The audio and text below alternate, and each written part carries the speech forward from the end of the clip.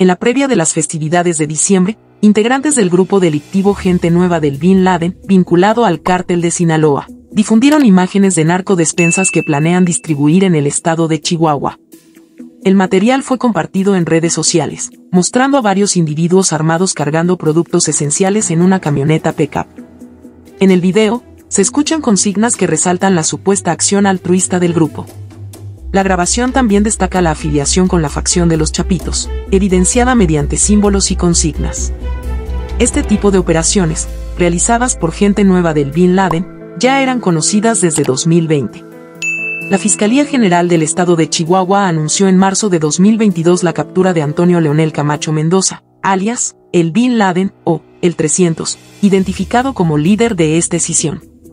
Su detención tuvo lugar en Tuxtla Gutiérrez, Chiapas, señalándolo como uno de los principales generadores de violencia en varios municipios. En abril de 2022, el Bin Laden fue trasladado al Centro Federal de Readaptación Social número 1, conocido como el Penal del Altiplano, en el Estado de México. Bien pendiente de Bin Laden. Firma, firma.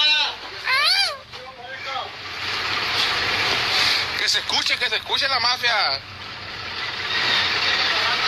Mira la del terror. Para que miren que no hay hambre. ¡Uh! ¡Eh! Me ocupo una capucha para mí también, culero!